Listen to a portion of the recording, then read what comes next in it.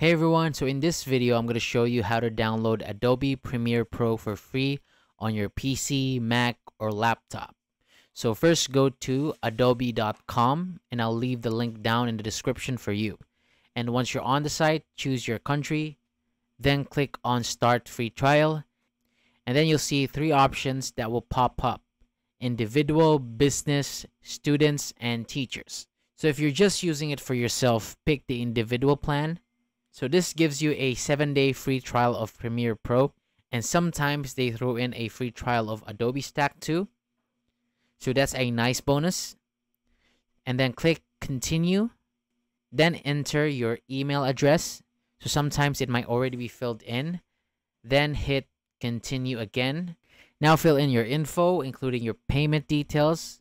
So you don't have to stress because you won't be charged until the free trial ends. So you can cancel anytime before that if you want.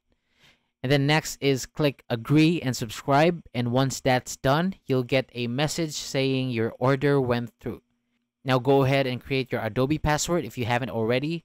Then download the Creative Cloud app.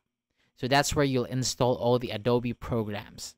And once it's installed, open it up, log in with the same email, and head to the apps section and then scroll down, find Premiere Pro, and click install, and that's it.